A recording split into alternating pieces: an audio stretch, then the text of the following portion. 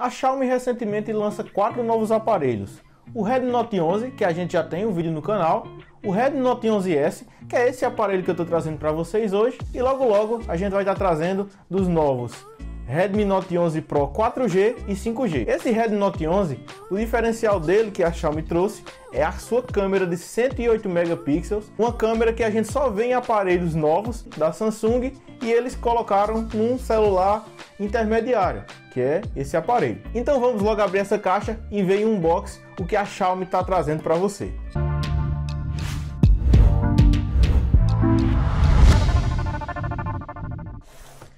Então vamos lá com a caixa do Note 11S.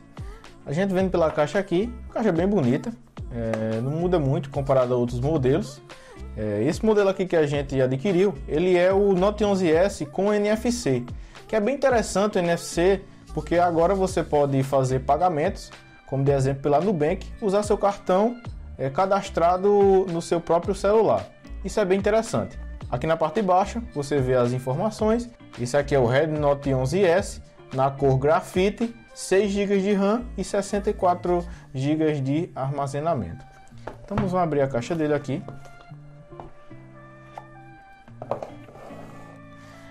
É, como todo modelo de Xiaomi, ele vem aqui esses envelopes que aqui vem manual, vários manuais e sua capinha protetora padrão. E aqui é a chavinha para você abrir sua gaveta de chips e cartão de memória.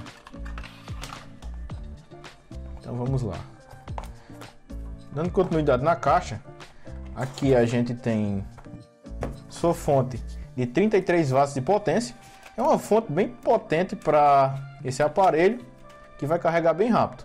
Com seu padrão aqui laranja, que dá um destaque bem interessante. E aqui seu cabo de carregamento, é, também laranja suas pontas, padrão C. Então vamos colocar tudo isso de lado aqui e focar no que realmente importa, que é o aparelho. Olhando aqui no plástico, ele já mostra algumas informações para a gente, que é o modelo do aparelho. E aqui a gente vê um destaque, que é essa câmera de 108 megapixels, tá certo? Essa câmera a gente vê é, só em aparelhos mais novos, como a linha S da Samsung, e eles trouxeram no aparelho intermediário da Xiaomi. Isso é bem interessante. Também acompanha uma câmera ultra-wide e macro. Já aqui embaixo a gente vê uma tela de 90 Hz AMOLED, é uma tela bem interessante, sendo que é a mesma tela do Note 11 normal. Logo abaixo a gente vê seu carregador de 33 watts de potência, que é um carregador bem potente, e uma bateria de 5000 mAh. E aqui abaixo, um destaque também é seu processador, que é o MediaTek Helio G96, que é um processador bem interessante também para esse aparelho, que logo logo a gente fará os testes. E vamos tirar o plástico aqui para a gente ver a traseira desse celular.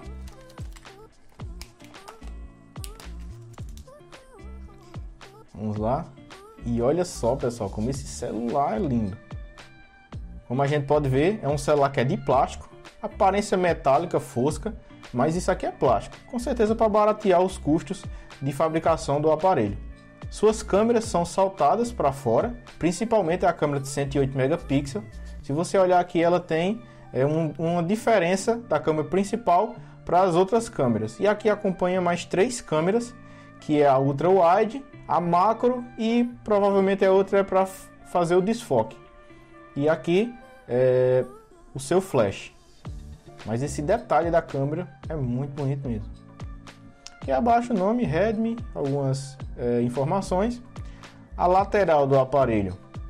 Do lado direito do aparelho, a gente tem o botão Power juntamente com a biometria do celular, que é bem interessante. É, os botões de volume.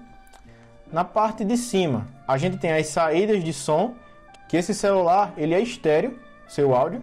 Então você vai encontrar saída de som em cima e embaixo. Aqui do lado a gente tem um microfone que é para reduzir ruídos e o seu infravermelho e uma entrada P3 para fones de ouvido. Na parte de baixo, como eu falei, tem a outra saída de som, sua entrada tipo C e um microfone de gravação. Do seu lado esquerdo, aqui a gente só encontra mesmo a entrada de chips, cartão de memória. Achei bem interessante esse celular, o, o jeito dele, que ele é um pouco quadrado, que é um design bem diferente. mas que chama bastante atenção. E essa cor dele também é bem interessante, sendo que ele tem outras cores também, creio que sejam bem bonitas também. Nessa parte da frente da tela do celular, a gente pode notar que aqui em cima tem a saída auricular, bem pequena, bem discreta, a sua câmera frontal é, já embutida na tela e o sensor de proximidade que fica aqui também na parte de cima. Agora eu vou ligar o aparelho.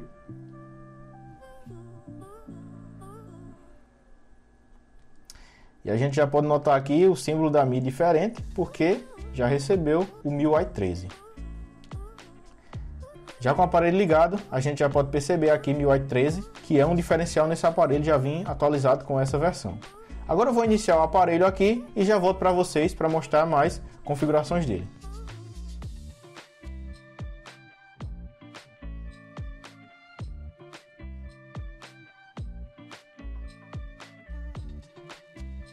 Pronto, celular iniciado. Agora aqui a gente já pode fuçar algumas funções dele. É, vamos até as configurações do aparelho. Aqui a gente pode perceber que o aparelho é de 64 GB, já está com a MIUI 13. Esse aparelho é de 6 GB de RAM, mas se você vir aqui nas configurações, é, adicionar extensão de memória, você pode adicionar mais 1 GB de RAM, que isso vai tirar da memória do aparelho, e o aparelho ficará com 7 GB de RAM, que é bastante para esse aparelho. Já em questão de tela desse aparelho, é uma tela AMOLED de até 90 Hz, que eu já vou colocar para vocês, 1080 por 2400 pixels, 409 ppi. É uma tela que tem bastante cores, as cores dela são bem vivas e nítidas. E eu vou colocar aqui nas configurações.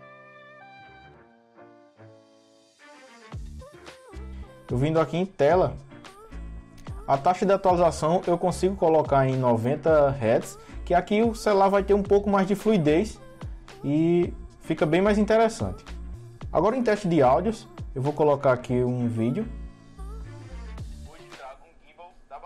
Esse estabilizador promete um ótimo desempenho e custo-benefício. Tem saída de áudio em cima e embaixo, estéreo. tudo que tem aqui dentro, logo após a vinheta.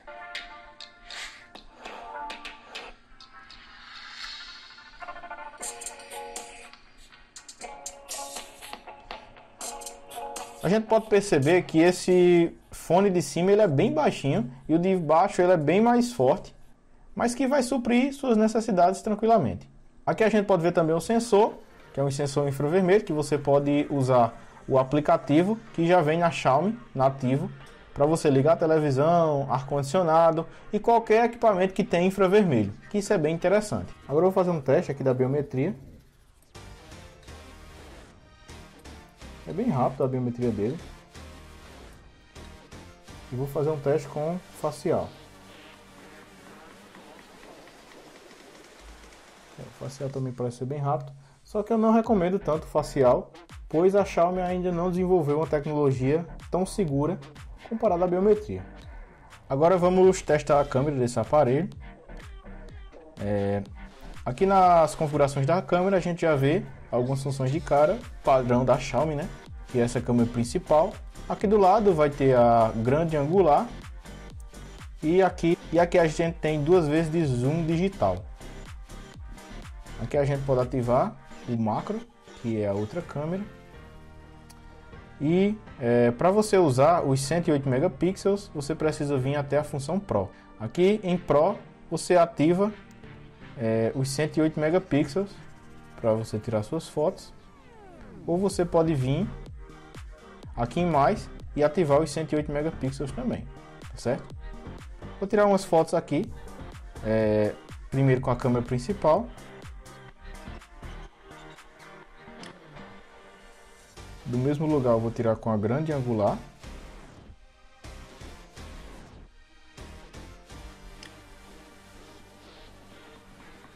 A câmera com duas vezes de zoom e agora com os 108 megapixels.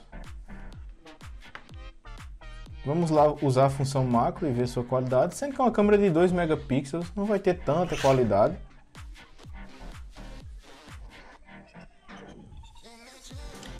E vamos para a câmera frontal. Eu vim aqui nas suas câmeras principal e deixou um pouco a desejar foi o celular não gravar em 4K. Um celular que tem uma câmera de 108 megapixels, mas que não grava em 4K. Como eu falei, uns modelos bem inferiores da Samsung grava e esse aqui deixou a desejar. Aqui você pode fazer vídeos na parte traseira em 720 pixels, 30 frames por segundo e em 1080 pixels Full HD, 30 frames por segundo. E uma coisa que eu não entendi é porque, sei lá, grava também 60 fps, mas não está aparecendo aqui. Mas vamos dar continuidade. Aqui você pode gravar também na grande angular e com duas vezes de zoom. Agora eu vou fazer alguns testes é, num lugar aberto com boa iluminação de fotos e vídeos e vou estar tá deixando aí para vocês mais detalhado.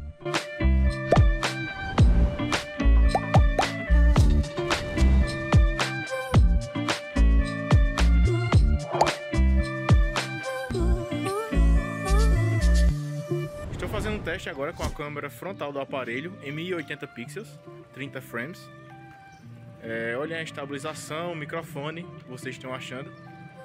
As cores também, nitidez. E agora eu vou mudar para a câmera traseira. Essa aqui é a câmera traseira principal do aparelho, certo? Olhem as cores. Vou estar andando aqui para você ver a estabilização. Me conta o que você está achando dessa estabilização de vídeo. O áudio também do celular, sendo que estou gravando em 1080 pixels focando aqui para testar o foco também, mudando de foco, foco lá atrás. Agora estou gravando com a câmera grande angular 1080 também. Viram alguma diferença? Se melhorou, piorou estabilização de vídeo? Contem aí embaixo o que vocês estão achando.